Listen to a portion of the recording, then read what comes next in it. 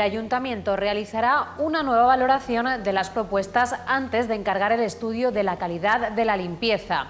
La medida se adopta ante la aparición de informaciones sobre la posible incompatibilidad de una de las empresas consultadas.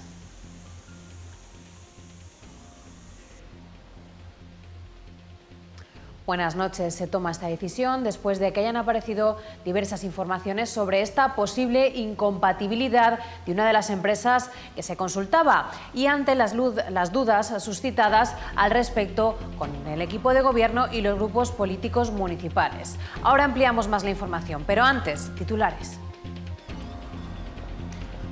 Las buenas temperaturas y los cuatro días de este puente de San José animan a los vecinos y turistas a disfrutar de las playas. Con la intención de que se encuentren en las mejores condiciones, desde el Ayuntamiento de Alicante se programa un dispositivo especial coordinado entre la Concejalía de Limpieza, la de Seguridad y Turismo. Las fiestas de la ciudad galardonaban ayer a los personajes e instituciones más importantes del año festero. Los premios Fester de Alacant reconocieron al cocinero alicantino Ramón Riquelme con el premio especial a José Ángel Guirao un cuento terapéutico para superar el tratamiento del cáncer infantil. Proyecto GUSI es una iniciativa para hacer llegar a niños que padecen esta enfermedad un apoyo psicológico en forma de historia en la que GUSI y Joaquín se hacen amigos. En los deportes, mañana juega el Hércules una final contra el y la duda de Benja. Aitor Baró, cuéntanos.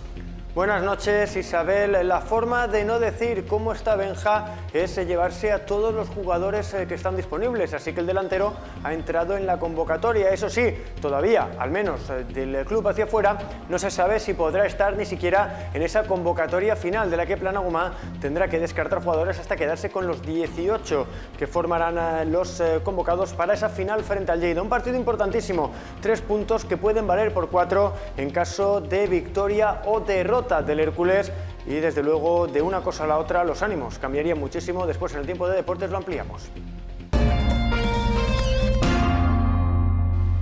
El Ayuntamiento de Alicante realizará una nueva valoración de las propuestas antes de encargar el estudio sobre la calidad del servicio de limpieza que realizará la UTE Alicante después de que hayan aparecido informaciones sobre posible incompatibilidad de una de las empresas consultadas y ante sobre todo las dudas suscitadas al respecto al equipo de gobierno y a los grupos políticos municipales. El concejal de limpieza, Israel Cortés, ha explicado que se dio cuenta de la propuesta en la comisión de limpieza del pasado martes sin que ni la propia empresa ni nadie hubiese advertido de las circunstancias del director gerente de una de las empresas consultadas y que ante las informaciones aparecidas y ante las dudas que ha suscitado al equipo de gobierno y a los grupos municipales, se ha optado por solicitar a los técnicos que realicen una nueva evaluación de las ofertas con el fin de tomar la mejor decisión. Cortés ha explicado que el procedimiento para el encargo del estudio se encuentra en fase de valoración de ofertas, como paso previo al encargo del mismo, por lo que los técnicos deberán definir a qué empresas se propone para la realización de este trabajo.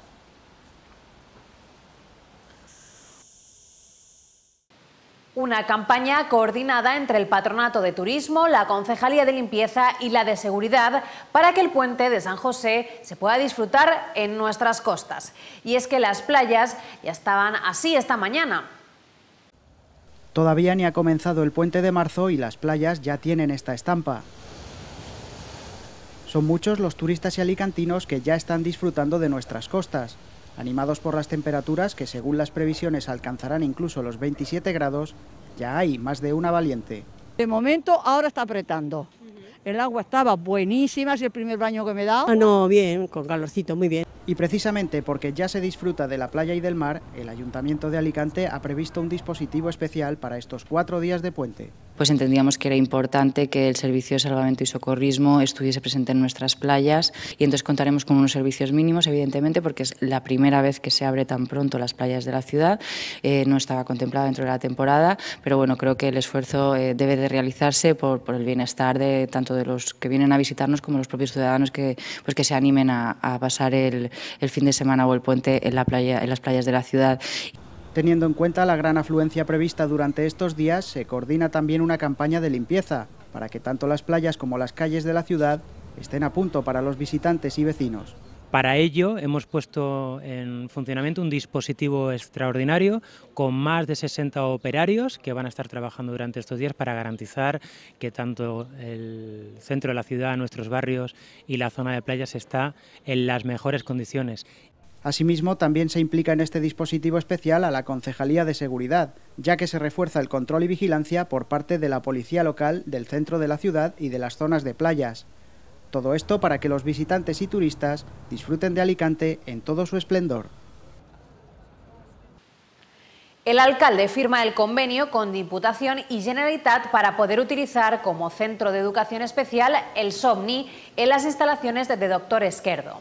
De España ha informado que ya se ha encargado desde Urbanismo el proyecto de construcción del Centro Definitivo de Educación Especial, el SOMNI, para ubicarlo en la avenida deportista Isabel Fernández que cuenta con un presupuesto de 16.093 euros. El primer edil destacó la buena cooperación y la coordinación que se ha tenido entre las tres instituciones, la local, la provincial y la autonómica, para de esta forma, con el convenio que se ha firmado hoy, dar soluciones a los alumnos del SOMNI con una ubicación alternativa, como nos comprometimos hasta la construcción del nuevo colegio. La Agencia Local de Desarrollo Económico y Social del Ayuntamiento de Alicante va a adoptar la herramienta informática Emplea Plus Digital, desarrollada por la Fundación Acenture para mejorar la empleabilidad de personas en situación de vulnerabilidad. La responsable de la consultoría pro bono de la Fundación Acenture, Alejandra Gail, ha presentado esta mañana a los técnicos de empleo del Ayuntamiento de Alicante la solución informática gratuita Emplea Plus Digital, de la que ya se han beneficiado más de 5.000 personas en toda España. Reconocimiento para los miles de festeros que desde sus asociaciones, hermandades y comisiones contribuyen con la fiesta y con la ciudad de Alicante. Así se planteaba la decimosexta gala de los premios Fester d'Alacant que se celebraba anoche en el Teatro Principal de Alicante. Y aunque fueron tan solo 11 las personas y asociaciones que subieron al escenario del Teatro Principal de Alicante a recoger estos premios, la Gala Festers d'Alacant reconocía en su decimosexta edición la labor callada de las miles de personas que hacen posible cada una de las fiestas de la ciudad. Es mucho, es mucho lo que ponen los festers eh, en Alicante, ¿no? No es que pongan solo dinero, que lo ponen y muchísimo, muchísimo. Es que ponen la ilusión, ponen el trabajo de una forma totalmente altruista. Un trabajo que se extiende durante todo el año en cada una de las fiestas que se celebran en la ciudad. Los moros y cristianos, les fogueres de San Juan, la Semana Santa, las fiestas tradicionales y este año, como novedad, también se reconocía las fiestas de Navidad y el belenismo.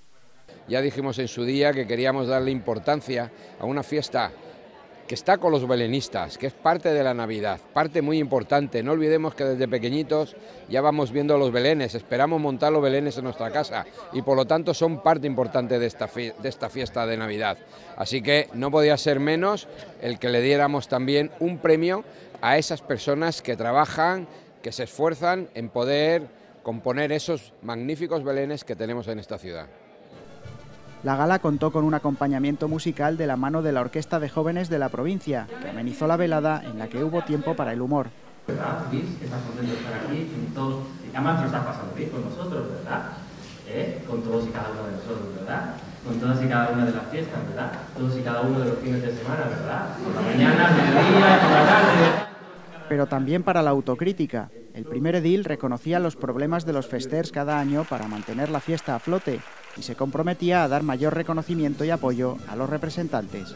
Mucha gente que de forma simple piensa que, la fiesta se monta para que se diviertan unos pocos. Pues no, la, fiesta se monta para que se diviertan todos, genera riqueza, genera empleo, eh, da visibilidad a la ciudad de Alicante, atrae a muchísimos turistas. Eh, la fiesta es muchísimo más de lo que eh, con simpleza mucha gente cree que es solo juerga y, y divertimento, es muchísimo más que eso. Como colofón del acto se entregó el premio especial José Ángel Guirao al cocinero alicantino Ramón Riquelme por su implicación en la Semana Santa, como presidente de la Hermandad de Santa Cruz durante 30 años, pero también por su trabajo en hogueras y moros y cristianos. Ha sido una sorpresa porque no me lo esperaba y una sorpresa muy agradable, desde luego. Un premio con sufrimiento porque he estado toda la vida trabajando para la Semana Santa, 30 años de presidente de la Hermandad de Santa Cruz. No, yo no quiero que me recuerden como un alicantino más, que ha trabajado por Alicante, que es lo que debemos de hacer todos los alicantinos y de esos alicantinos estaba lleno el teatro principal, de los que anónimamente hacen grande la fiesta y con ella la ciudad de Alicante.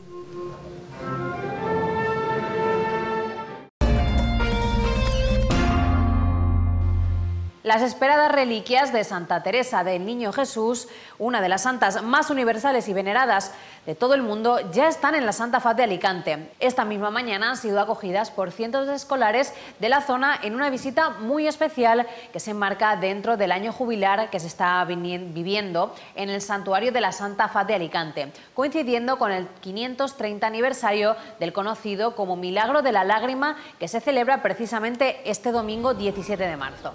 Se ha dado comienzo así a cinco intensos días en los que la querida Santa Francesa, doctora de la Iglesia, será el motor de diferentes encuentros con jóvenes, pobres, enfermos, ancianos, familias, sacerdotes y vida consagrada. La Policía Nacional detiene a seis personas por realizar contratos fraudulentos de seguros de vehículos. Actuaban desde un locutorio que habían convertido en su oficina y desde donde contrataban las pólizas vía Internet usurpaba la identidad de personas para contratar el seguro, pólizas que tenían vigencia por un mes y luego eran anuladas por impago. Aseguraban vehículos retirados al depósito por carecer de seguro o personas que no conseguían ser aseguradas por las compañías. La recogida selectiva de residuos orgánicos se abre a la ciudadanía en el Campello.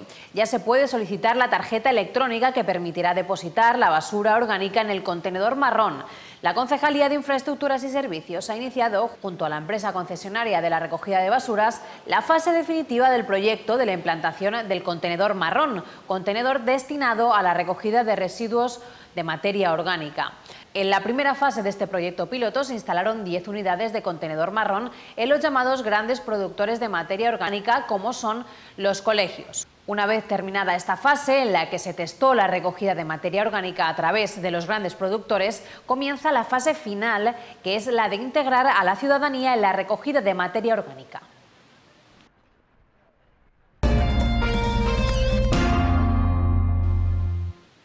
La consellera de Vivienda, Obras Públicas y Vertebración del Territorio, María José Salvador, ha convocado a la mesa de rehabilitación para informar de las medidas que tiene en marcha la Generalitat para impulsar la rehabilitación en la comunidad, como son las ayudas del Plan Renata o la convocatoria de las ayudas de rehabilitación del Plan Estatal de Vivienda.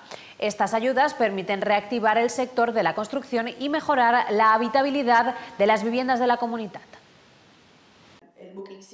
Eh, la consellera d'Habitatge, Obres Públiques i Vertebració del Territori, Maria José Salvador, ha convocat a la mesa de rehabilitació per a informar de les mesures que té en marxa la Generalitat per a impulsar la rehabilitació en la comunitat, com les ajudes del Pla Renata o la convocatòria de les ajudes de rehabilitació del Pla Estatal d'Habitatge que han permès reactivar el sector de la construcció i millorar l'habitabilitat dels habitatges. Aproximadament hem invertit 142 milions d'euros que ha generat un efecte mobilitzador de eh, 300 eh, milions d'euros d'inversió Crec que les dades són significatives en la mesura en què acompanyen que efectivament hem invertit i hem apostat per la rehabilitació i la regeneració urbana, generant quasi 5.000 llocs de treball directes i indirectes en l'aposta que ha fet este govern per la rehabilitació i la regeneració urbana. La Mesa de Rehabilitació, creada per la Conselleria en 2016, serveix com a fòrum de participació entre membres de les diferents organitzacions i col·lectius de la construcció i rehabilitació, així com ajuntaments i tècnics per a dinamitzar el sector de la construcció i orientar les necessitats habitacionals de las personas.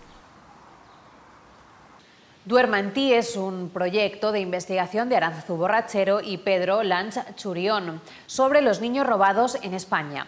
El proyecto realizado a través de la Universidad de San Francisco y de la City University of New York toma forma en una publicación y una exposición en la que los autores han trabajado con diversas asociaciones de víctimas para dejar un legado que permita avanzar en esta difícil búsqueda. Entre 1939 i la dècada dels 90, un nombre ingent de nounats i de xiquets i xiquetes van desaparèixer de les presons de dones, de les maternitats i dels hospitals públics i privats d'Espanya. L'exposició Duermenti presenta 20 casos de víctimes d'aquestes desaparicions a través de fotografies, testimoniatges i documents. El projecte, resultat de la col·laboració entre Aranzazu Borrachero Mendíbil, Pedro Lanz Churión i diversos col·lectius de víctimes, convida a buscar respostes sobre els successos, les seues conseqüències i el silenci de l'Estat. Els seus testimoniatges parlen de recerques que xoquen amb arxius tancats i dades manipulades, i la narració personal de cada cas va acompanyada de la documentació que les mateixes víctimes han compilat amb esforç econòmic i personal. El director del Centre del Carme, José Luis Pérez Pont, ha explicat que, dins de la política d'obrir el centre d'art a projectes de caràcter social, exposicions com aquesta són una via per a visibilitzar aspectes de la nostra societat que no han rebut l'atenció suficient per part de l'administració i que han quedat injustament esborrats de la nostra memòria històrica.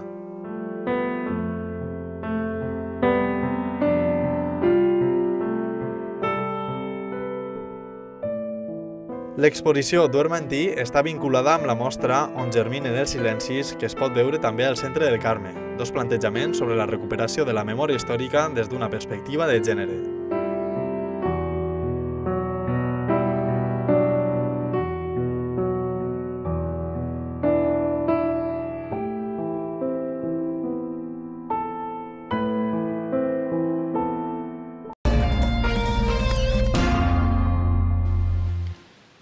Apoyo terapéutico a través de un cuento. Esta es la iniciativa que una psicóloga y los padres de un niño con cáncer alicantino quieren hacer llegar a todos los pequeños que sufren esta enfermedad. A través de un crowdfunding se puede colaborar para que se pueda hacer realidad.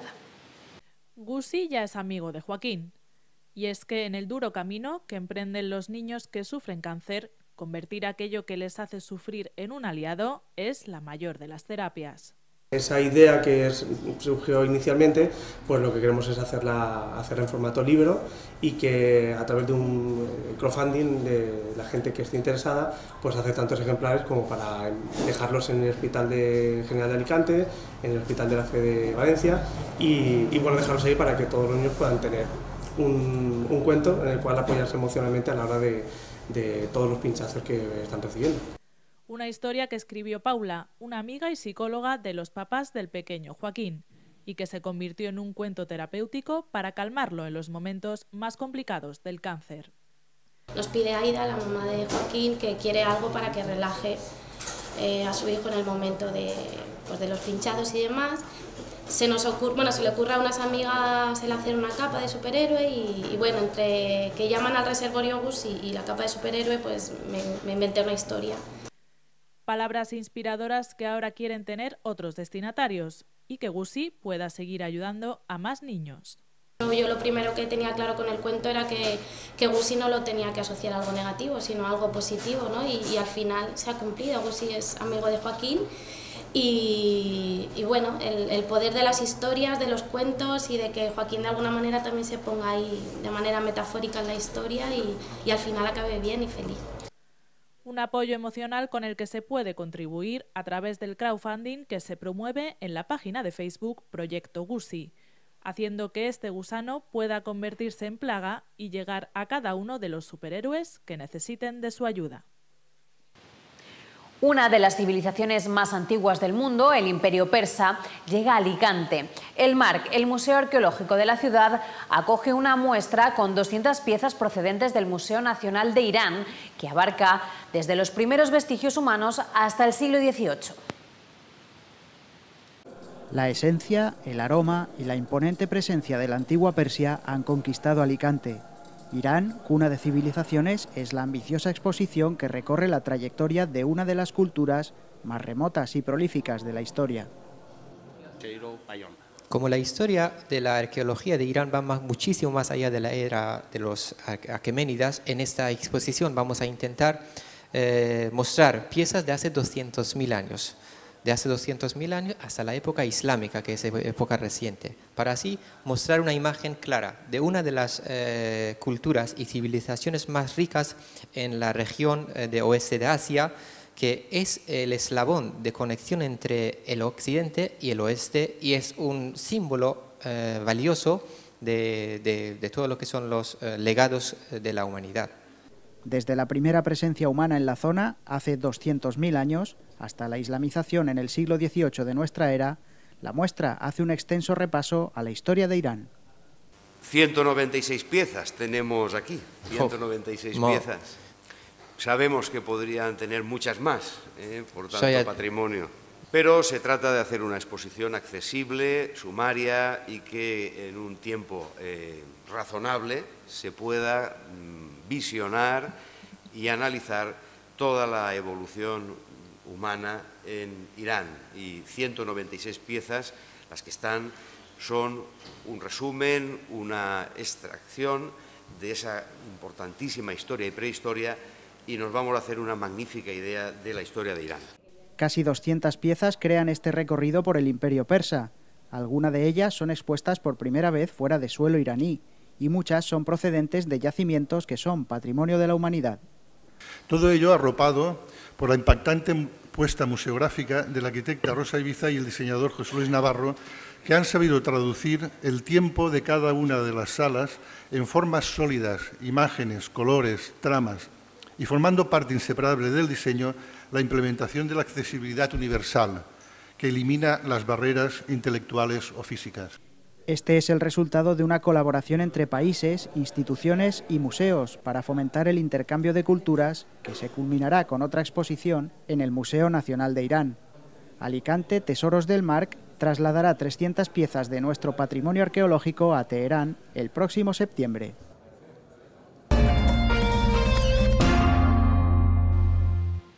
En cuanto a los deportes, hablamos de ese partido entre el Hércules y el Lleida con mucho run run de fondo tras el tropiezo en Badalona.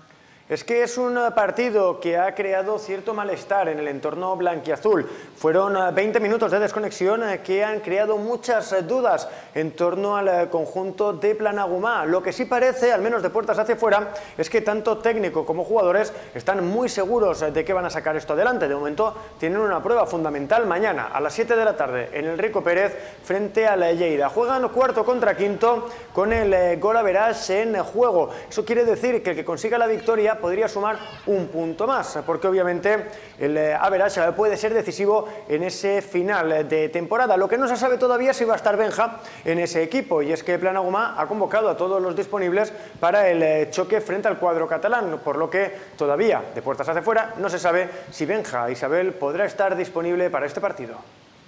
Además, nos tenemos que ir ahora a la universidad, donde el fútbol sala en primera división y el voleibol en la Superliga 2 compiten este fin de semana.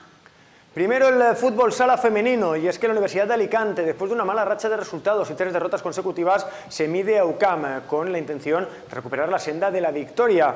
Es algo necesario para no perder esa octava plaza en la que están ahora las de Carlos Moreno. Precisamente, Carlos Moreno nos hablaba de lo que significa este partido. Jugamos contra UCAM este fin de y estamos preparando muy bien este partido para sacar los tres puntos en casa. La clave, como siempre, en trabajar todas juntas y ir todas a una y como dije ya la última vez, marcar las ocasiones que tenemos, que quizá nos falta un poco eso. Sí, eso como siempre, al final pues lo que tenemos que hacer es trabajar en lo que hemos fallado, seguir confiando en nosotras y, y, arreglar un poco pues esas cositas, pero, pero bueno, no, no venirnos abajo, sino todo lo contrario. Y si nos vamos al eh, voleibol, eh, después eh, de recuperar la senda de la victoria, que trata de, también de recuperar el fútbol sala, las jugadoras del Lamberto Villalón se miden a Illagrau, precisamente un equipo que se llevó los puntos de aquí, de la Universidad de Alicante, en la primera vuelta, una gran oportunidad para confirmar las buenas sensaciones, así al menos lo cree su colocadora Beatriz Alarcón. Pues la verdad es que cuando vinieron ellas aquí nos quedamos un poco con la espina clavada porque no, no hicimos un buen juego y yo creo que nos apetece revancha. Es verdad que a día de hoy, pues quizá la posición en la que ellas se encuentran y con una dinámica más positiva, se complican mucho más las cosas, pero es lo que tú dices, al final el objetivo ya está conseguido, no se desciende y los partidos que quedan son para disfrutar. Tenemos que aprovechar esta última victoria para que nos sirva de, de energía, para querer un poco más en nosotras mismas y, ¿por qué no dar la sorpresa este sábado? Sí, yo creo que eh, por lo menos ya sabemos lo que hay. Realmente es el mismo equipo, eh, tiene una central muy buena, tienen una defensa y, también una buena recepción. Y al final yo creo que nuestra única baza puede ser pues el, tener confianza, el ser muy luchadora, no dejar el punto y ser cansina, vamos, pero eh, yo creo que, va a estar difícil por eso, porque en realidad ya sí que son un equipo que, que permanece desde el principio, no tiene bajas y que tienen una dinámica muy positiva en estos momentos. Pero bueno, como te digo, vamos a intentar lucharlo a tope y dar la sorpresa. Como ves, Isabel, aunque la temporada está llegando al fin y muchos eh, partidos eh, no tienen una lucha por el campeonato, sí hay cosas en juego en estos dos choques. Gracias, Aitor. Imagino que la tertulia de hoy va a echar humo. Pues eh, probablemente lo haga, y es que todo el run run que hay alrededor del Hércules y esas malas vibraciones que se han generado en la última semana probablemente hagan que todo se polarice. Vamos a ver cómo vienen de tranquilos o de nerviosos nuestros tertulianos. Me quedo a verte, Aitor. Gracias. Buenas noches. Hasta aquí el Info Alacantí de hoy. Nos despedimos. Les esperamos el lunes a las ocho y media con toda la actualidad de la comarca del Alacantí. Buen fin de semana.